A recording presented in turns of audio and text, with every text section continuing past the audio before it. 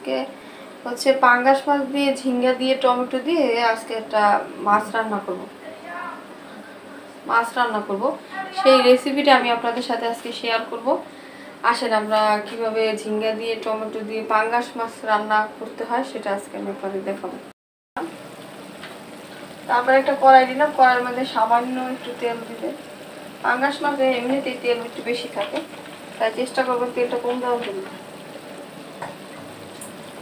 তারপর কিছুটা পেঁয়াজ কুচি।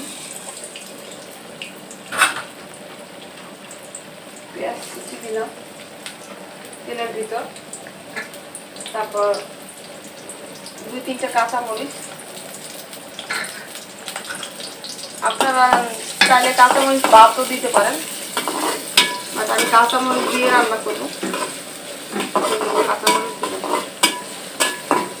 পেঁয়াজটা পেঁয়াজটা একটু ভালোভাবে ভাজতে হবে।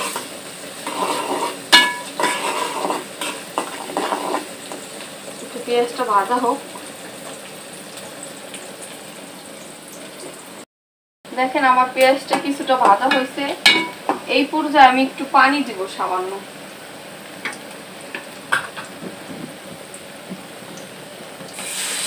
সামান্য একটু পানি দিলাম। তারপরে যে আদা আর রসুন হ্যাঁ আদা বাটা আর রসুন বাটা আমি একসাথে পেস্ট করে এটার মধ্যে দিয়ে দিলাম। হাফ চামচের একটু বেশি দিবেন। যেহেতু পাঙ্গাস মাথা একটু মশলা একটু বেশি দিয়ে দিবেন মানে এক চামচ দিয়ে দিবেন, তাইলেই হবে। তারপর হচ্ছে জিরার গুঁড়ি।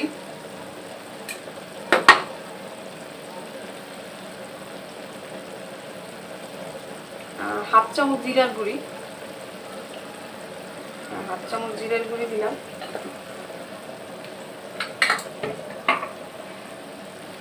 হাফ চামচ মরিচের গুঁড়া। হাফ চামচ হলুদের গুঁড়া।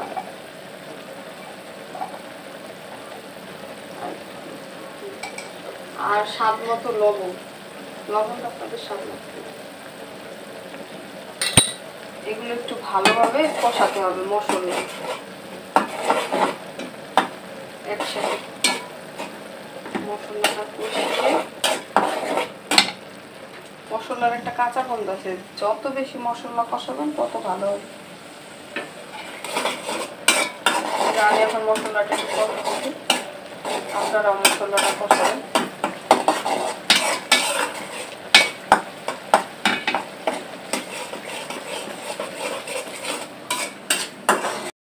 দেখেন আমার মশলাটা কষানো হয়ে গেছে।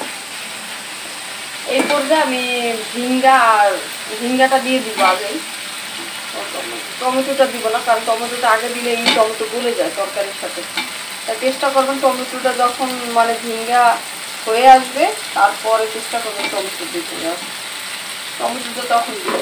মাছ আর টমেটো একসাথে দিলেই হয়। তারপর তারপর কিছুক্ষণ ঢেকে রাখলেই হয়ে যায়। দেখেন আমি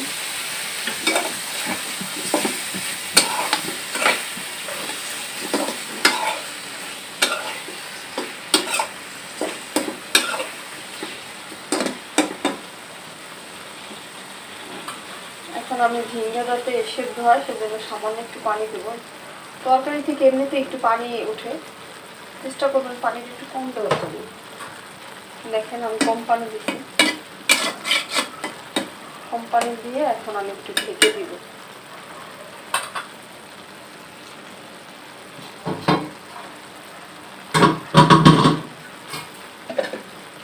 দেখুন এই যে আমার ঝিঙ্গা প্রায় সেদ্ধ হয়ে গেছে।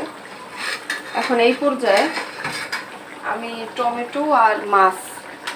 ও, মাছটা আগে বলে রাখি, আমি তো, আমি আগে থেকেই মানে আগে থেকেই যে পাঙ্গাস মাছটা হলুদের গুঁড়া, মরিচের গুঁড়া, সামান্য লবণ দিয়ে ভেজে রেখেছি। এখন সেটা আমি মাছ আর টমেটো একসাথে ঢেলে দিব। এই পর্যায়ে আমি টমেটো দিলাম। এখন একটু মাছটাও ঢেলে দিই। দেখুন, মাছটা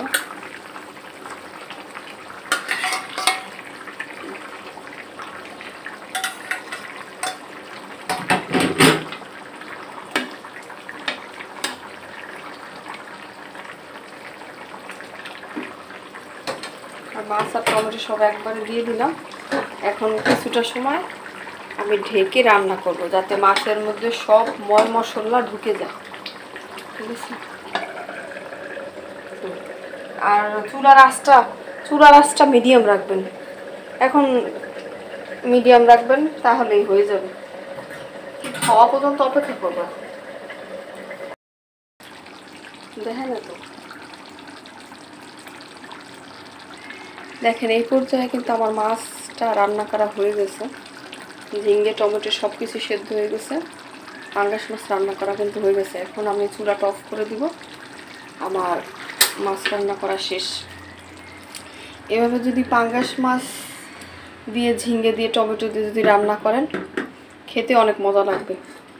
আপনারা প্লিজ আমার রেসিপিটা একবার ট্রাই করে দেখবেন। আর বাসায় খেয়ে দেখবেন কেমন হয়েছে।